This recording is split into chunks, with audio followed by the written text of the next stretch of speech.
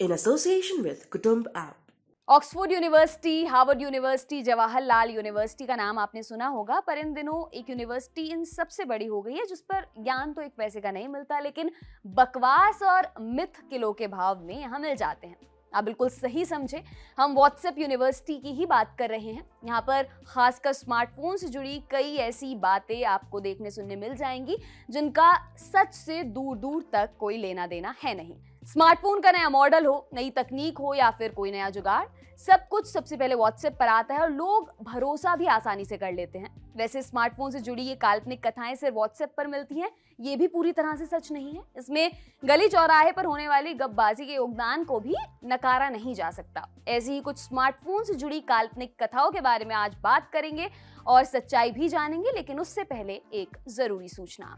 दी Lallan top अब कुटुंब app पर आ गया है। मतलब अब आप कुटुंब ऐप पर भी जुड़ सकते हैं दी लल्लन टॉप कम्युनिटी से, जहाँ आपको मिलेंगी आपकी पसंदीदा खबरें, वीडियोस और डेली शोज़, साथ में सीधे सीधे अपनी बात रखने का मौका भी।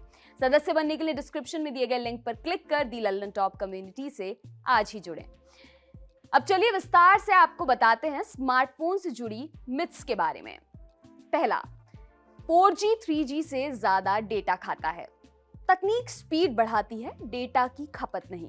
एक ऐप मान लीजिए 100 एमबी का है और 3G में एक मिनट में डाउनलोड हो रहा है और 4G में 30 सेकंड में तो डेटा तो 100 एमबी ही डाउनलोड हुआ, बस समय इसमें कम लगा। 4G या 3G तकनीक का स्तर है और डेटा खपत का मापदंड। इसे ऐसे समझिए, किसी सामान को खरीदने के लिए एक हज़ार रुपए चाहिए, चाहे आप दस रुपये के सौ नोट खर्च किए या सौ के दस नोट, दोनों में खर्चा सेम होगा। दूसरा मिथ जो बेहद प्रचलित है, वो है कि स्मार्टफ़ोन से कैंसर होता है। पहले मोबाइल टावर से कैंसर होने की बात फैली, फिर स्मार्टफ़ोन से। मोबाइल टावर को लेकर तो सरकार को भी स्थिति साफ़ करनी पड़ी। स्मार्टफ़ोन को लेकर भी कई बार सफ़ाई दी जा चुकी है। सार वैल्यू नाम की एक चीज़ होती है जिससे गुजर कर ही कोई फ़ोन आप तक आता है। स्पेसिफिक एब्जॉर्प्शन रेट एक इंटरनेशनल मानक है रेडिएशन मापने का। इसका जो स्टैंडर्ड है, एक दशमलव छह वॉट्स पर किलो, उसको पास किए बिना कोई भी फ़ोन बाज़ार में नहीं आता, भले ही वो इंडिया में बने या इम्पोर्ट होकर इंडिया आए। भारत की अपनी खुद की लैब है। इसकी टेस्टिंग के लिए जो 2012 में बनी थी। यदि आप पूरा तकनीकी ज्ञान चाहते हैं तो डिपार्टमेंट ऑफ़ टेलीकॉम की वेबसाइट पर जाएँ। सार वैल्यू आपको हर मोबाइल के डब्बे और कागजात के साथ लिखी मिल जाएगी। तीसरा मिथ ज़्यादा रैम मतलब तगड़ी परफॉर्मेंस बड़ा है तो बेहतर है से ये मिथ प्रभावित लगता है, लेकिन जब बात स्मार्टफ़ोन की है तो रैम का अपना एक सीमित रोल है। आप आठ जीबी रैम वाले स्मार्टफ़ोन पर कोई गेम खेलिए या बारह जीबी रैम वाले हैंडसेट पर, कोई खास फ़र्क आपको नज़र नहीं आएगा, क्योंकि यहाँ परफॉर्मेंस का असली रिश्ता फ़ोन के प्रोसेसर से है। रैम को तो आप आसानी से खाली कर सकते हैं। कई बार तो एक छह रैम वाला फ़ोन भी आपके लिए बढ़िया काम करेगा। चौथा ब्लूटूथ जीपीएस वाईफाई बंद रखो, वरना आपकी बैटरी खत्म। आपका स्मार्टफ़ोन इतना स्मार्ट है कि जब कोई चीज़ इस्तेमाल नहीं हो रही है तो उसको सुला कर रखता है। तकनीकी भाषा में कहें तो हाइबरनेशन में। आप जितना यूज़ करेंगे, उतनी ही बैटरी और प्रोसेसर पर असर पड़ेगा। नहीं इस्तेमाल करने पर बस मामूली सा असर होगा।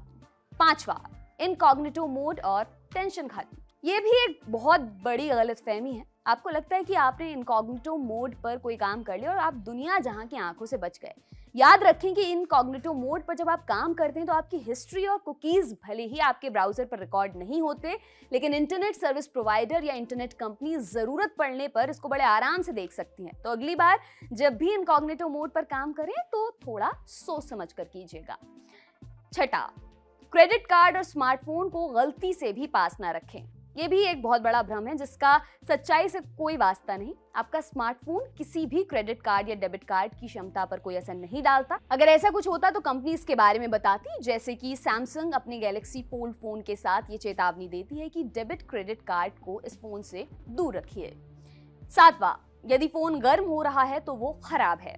ये भ्रम तो शायद उस शैतान बच्चे ने फैलाया होगा जिसको गेम खेलने नहीं मिला। जोक सपाट आमतौर पर पावरफुल ग्राफिक्स वाले गेम खेलते हैं, फिर लगातार वीडियो देखते समय कभी कभार फ़ोन की सतह थोड़ी गर्म हो जाती है। कई बार आपने चार्ज करते वक्त भी फ़ोन के ज़्यादा गर्म होने को महसूस किया होगा। सारी बातें नॉर्मल हैं। फ़ोन के गर्म होने का उसके खराब और अच्छे होने से कोई संबंध नहीं है। हाँ यदि आपका फ़ोन किसी भी परिस्थिति में ज़रूरत से ज़्यादा गर्म हो रहा है तो आपको तुरंत कंपनी के सर्विस सेंटर जाने की ज़रूरत है, लेकिन चार्जिंग के दौरान गर्म हो रहा है तो आम बात है। आठवां नेटवर्क के पूरे डंडे मतलब झमाझम स्पीड मोबाइल में पूरे नेटवर्क के डंडे आ रहे हैं, पर आपके कॉल की क्वालिटी अच्छी नहीं है। नेटवर्क स्पीड भी स्लो आ रही है। संभव है कि आपके साथ भी ऐसा हुआ हो। पूरे डंडे का मतलब है मज़बूत नेटवर्क सिग्नल पर नेटवर्क तो एक फ़ोन टावर से आता है। किसी भी समय उस टावर से कई लोग कनेक्ट हो सकते हैं तो नेटवर्क स्पीड इसी बात पर निर्भर करेगी। यानी ज़्यादा लोग तो धीमी स्पीड नवा। प्ले स्टोर से ऐप डाउनलोड किया है तो सेफ़ ही होगा। इस भ्रम ने ना जाने कितनों का नुकसान कर दिया होगा। वैसे गूगल खुद ही अपने प्ले स्टोर पर कड़ी नज़र रखता है, लेकिन कई बार कुछ बदमाश डेवलपर्स घुस ही जाते हैं।